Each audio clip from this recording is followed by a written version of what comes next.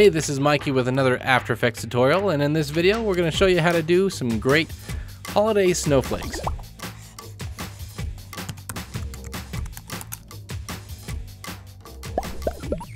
Now, as you'll notice that they're all falling like snow, and this is done with the particle um, system, but you also can see that they all have a difference. They're not all the same shape you know, no snowflake is alike. And I'm actually sure if you went and examined these, you would find two that are alike.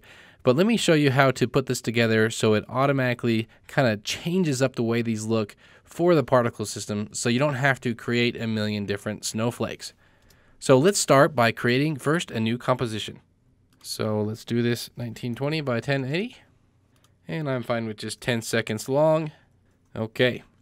Let's add in our background, our nice solid red background. And I'm going to apply my vignette preset just to that to kind of make a nice gradient background. And maybe give it a little bit more feather. And if you don't have this preset yet, just go ahead and click on the link in the description and you can go to right where you can download it and it's a free preset for you to automatically create vignettes like this. That's just a you know a little plug for some of my products there. So now I've got the background. Let's create the snowflake. And what I want to do is I'm going to create a new composition. And I want this to be, let's go 500 by 500. I want a nice square. And in here is where I'm going to create uh, my snowflake shape, but not the whole thing. I'm just going to create part of it and then I'm going to replicate it around and create a cool kind of a pattern. So let's go back into my main composition and let's bring this right into the center just so it's in there. Now let's go in here and I'm going to use a just the pen tool and I'm going to create kind of a shape. And I want it to look kind of like an arm of a snowflake. And so I'm just I'm kind of making something up here.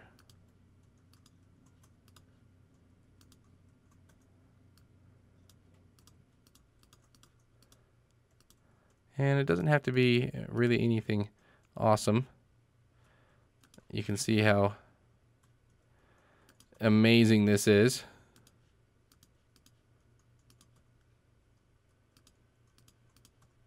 Okay.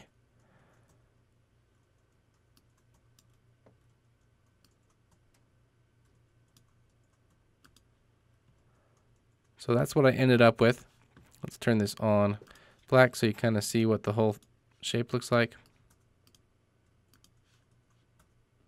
And now from here, I want to maybe add uh, like a circle or something. So I'm going to grab my circle.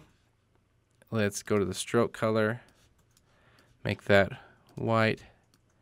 Give it a stroke. Stick this right here. And let's come into the contents. On the shape layer, I'm going to go down, position it right in the center, and remove the fill. Okay, and then that's really it for now. I might go in here and maybe scale this a little bit and maybe move it. But I can also come in to this layer and scale that down. Maybe move it to about like that. Kind of want to actually change up this. Let's go into here and maybe change this so it's a little more spiky. Okay. So this is what I I have and this is what I'm going to work with. So I'm going to go back into my main composition. Doesn't look like a snowflake yet, but let's add an effect. Go down to stylize and it's CC Kaleido, as in kaleidoscope. And immediately it, it does this, and it's not what we want. But let's come in here to the settings. So I'm going to come in here to Starlish, and I need to change the size of this so that all of the other parts of it are off. So you can see here as I scale this up, that moves off and I can then move this around and I start to get kind of a, you know, a snowflake look.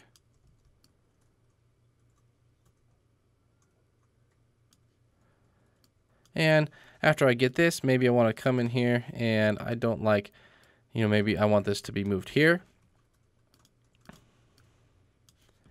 And perhaps this circle I want to be like this. And then when we come back into it, creates a completely different look.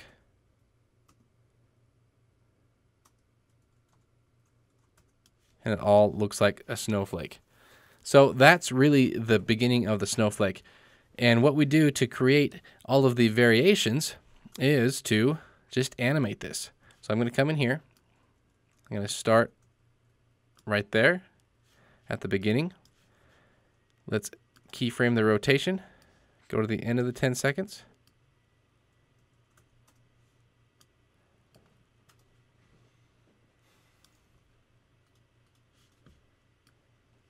And you can see there's a change. Now I can also come in here and keyframe the center. Go to the end of the 10 seconds. Do something like this. So that everything, every single part of this is looking different. Now to add even more variation, I can come in here and keyframe these elements in here. So let's bring these both up, hit position, keyframe them,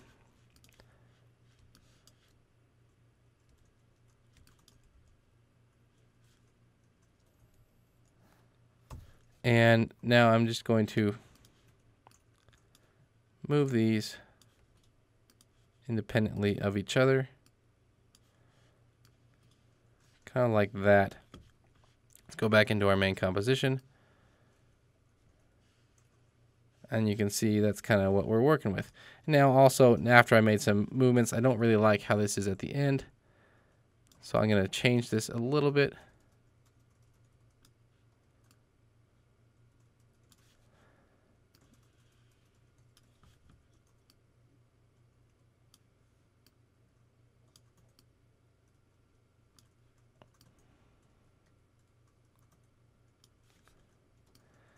And we're just getting some variations on these snowflakes here.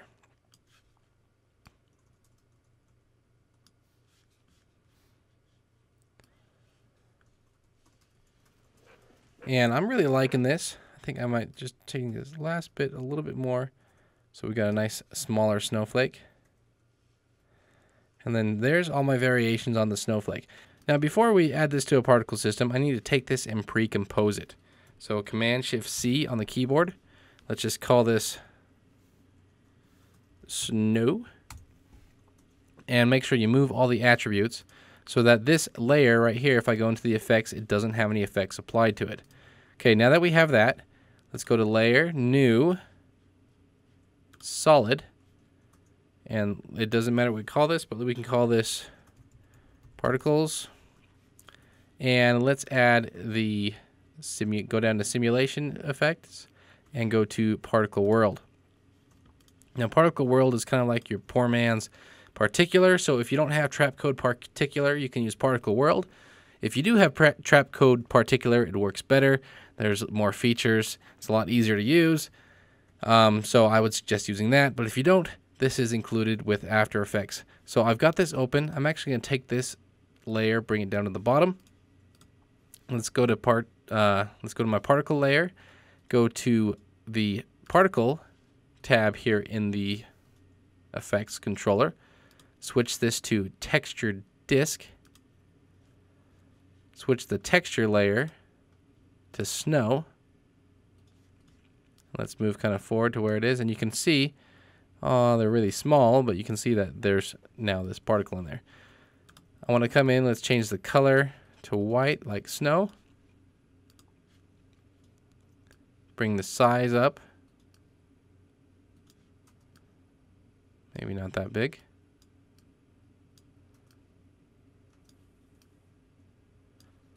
And let's maybe tweak some of these other settings. So let's go to the producer.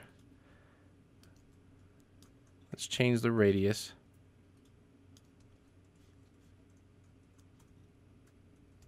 And that's falling much too fast. So what we can do is we can come into the physics, take this off of explosive, and let's just do twirl.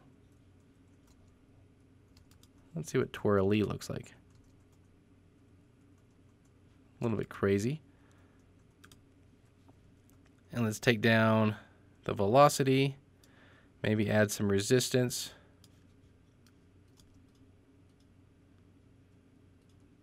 It's starting to look more like snow. Let's take the birth rate down, maybe to 0.1, and make the longevity a lot more. Let's go up to like 20 seconds.